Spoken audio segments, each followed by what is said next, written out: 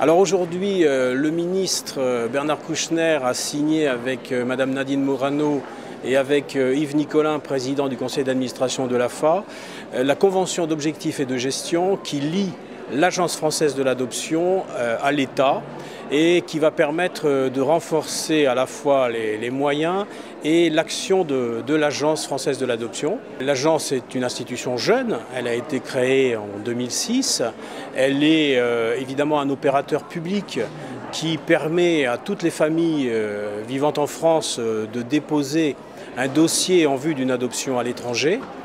Et c'est donc un acteur très important de l'adoption internationale euh, dans le dispositif français. Cette signature euh, n'est qu'une partie d'une réforme plus importante euh, de l'adoption internationale qui a été lancée l'année dernière après le rapport que Jean-Marie Colombani avait remis au président de la République. J'ai été chargé l'an dernier de coordonner cette réforme de l'adoption internationale. Nous avons beaucoup avancé depuis l'été 2008 puisque nous avons mis en place un service de l'adoption internationale qui, a le rôle d'autorité centrale. Euh, autorité centrale, ça veut dire quoi? Ça veut dire que euh, nous sommes chargés d'appliquer euh, pour la France la Convention de la Haye sur la protection des enfants et la coopération en matière d'adoption internationale, mais nous sommes aussi chargés de réguler le dispositif français, c'est-à-dire cette tutelle sur l'Agence française de l'adoption et également une régulation des autres opérateurs.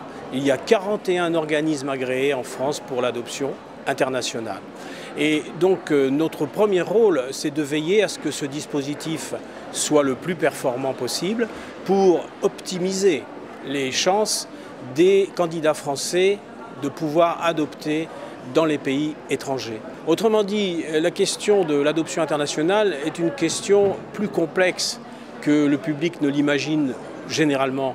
Il ne s'agit pas simplement de trouver un enfant euh, que l'on croit euh, abandonné dans un pays, encore faut-il que cet enfant soit déclaré adoptable par les autorités de ce pays, encore faut-il que toutes les garanties soient prises sur l'origine de cet enfant, encore faut-il veiller à ce que les procédures juridiques soient respectées dans le droit du pays, encore faut-il veiller à ce qu'il n'y ait pas de dérive autre, par exemple celle de l'argent autour de l'adoption. Et notre rôle, mon rôle, en tant qu'ambassadeur et chef du service de l'adoption internationale, consiste précisément à veiller à ce que tous ces paramètres soient euh, respectés dans l'intérêt de l'enfant d'abord, puisque l'adoption reste une mesure de protection de l'enfant, mais aussi dans l'intérêt des familles. Il faut que plus tard, quand l'enfant sera adolescent ou adulte, il puisse se tourner vers ses parents sans qu'il n'y ait d'inconnu, sans qu'il n'y ait d'hésitation sur la manière dont il a été adopté, sur le fait qu'il était réellement un enfant euh, privé de famille et qu'il a pu trouver, grâce à l'adoption, et à l'adoption internationale en particulier, une famille qui lui a donné un avenir monsieur le député, vous êtes le président de l'Agence française pour l'adoption et vous avez été euh, à l'origine de la loi qui a conduit à une réforme profonde de l'adoption et à la création de cette agence. Est-ce que vous pouvez nous dire quels sont les enjeux de la convention d'objectifs et de gestion qui va être signée ce matin par le ministre Bernard Kouchner en votre présence? Alors l'Agence française pour l'adoption existe depuis 2006. Nous avons durant trois ans commencé à travailler donc, euh, pour faire adopter des enfants à l'étranger et cette convention nous permet eh bien, d'avoir une visibilité sur trois ans c'est-à-dire une visibilité tant en termes de financement qu'en termes d'objectifs stratégiques qui nous sont donnés par le ministère des Affaires étrangères.